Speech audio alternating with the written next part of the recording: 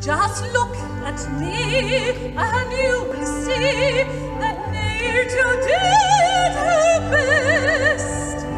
If you think my face is my only grace, then please observe the rest.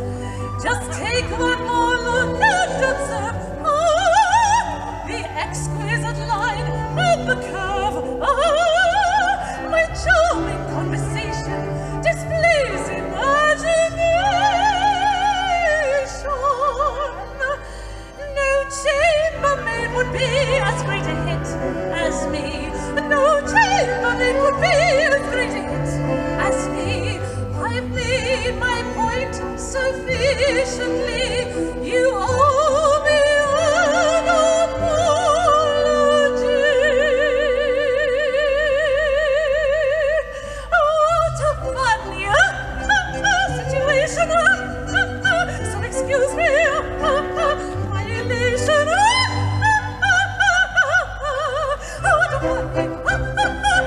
salvation.